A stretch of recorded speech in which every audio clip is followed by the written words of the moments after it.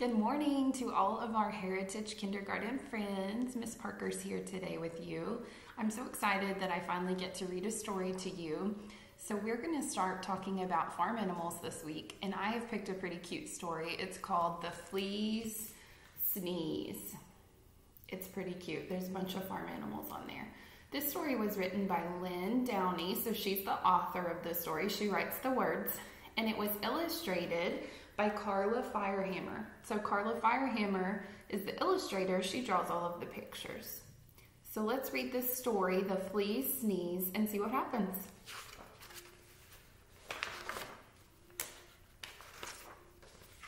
On a dark, dark night on an old, old farm in a rickety, crickety, tumble down barn, everyone slept peacefully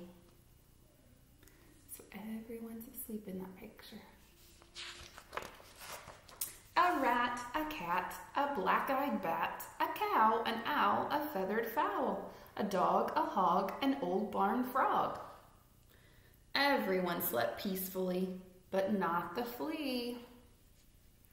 So I hear some special words on this page. I hear rat, cat.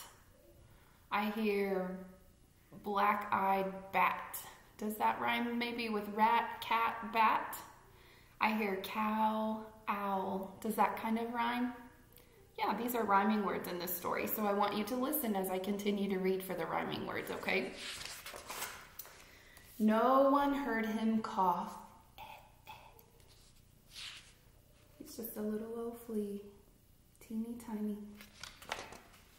Not even the mouse he used for a house or the rat, or the cat, or the black-eyed bat, or the cow, or the owl, or the feathered fowl, or the dog, or the hog, or the old barn frog. They all slept peacefully, but not the flea.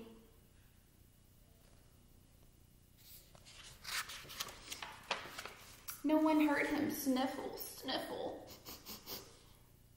He's just a little old flea.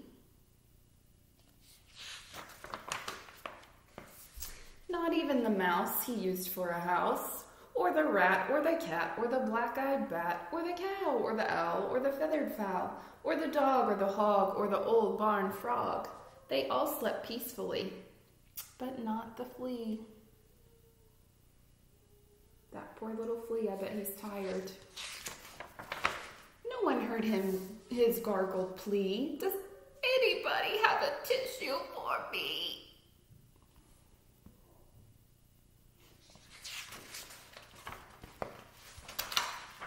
Not even the mouse he used for a house, or the rat, or the cat, or the black-eyed bat, or the cow, or the owl, or the feathered fowl, or the dog, or the hog, or the barn frog. They all slept peacefully, but not the flea.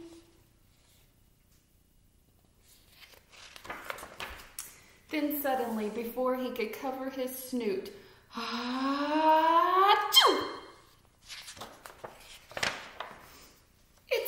the rat who cried boo-hoo and woke the cat who hissed meow. It baffled the bat whose eyes turned blue and confused the cow who uttered moo. It outraged the owl who hollered hoo hoo and flustered the fowl who crowed cock-a-doodle-doo. It daunted the dog who barked woof woof and sprayed the hog who screamed ew reminded the frog of his old nephew. There's the owl saying hoo hoo, the dog says woof woof, cock-a-doodle-doo, and ew. So now they're awake, right? But the mouse the flea used for a house kindly gave him a tissue. The flea wiped his nose, and before his eyes had even closed, he began to doze. What do you think doze means? Can you tell your parents what you think doze means? He wiped his nose and he began to doze. He's sleeping. For all the rest of that dark, dark night on the old, old farm in the rickety, crickety, tumble down barn, everyone slept peacefully. The flea and the mouse he used for a house, the rat and the cat and the black-eyed bat, the cow, the owl, the feathered fowl, and even the dog and the old barn frog. Everyone slept just like a log, except the hog. What's a hog? Do you see that? What do you think a hog is? It's the pig. No one heard his garbled wheeze. I think I've got a. So now the pig has to sneeze, right? And that's the end of our story. I hope you enjoyed The Flea's Sneeze, written by Lynn Downey. I want you to do a little writing activity now that we've read the beginning or the story, and you're going today to write about the beginning of the story. So I want you to think back to the very first of my story at the very front, which is the beginning. And I want you to kind of look at this page and think about what happened on the very first page. Can you think about that?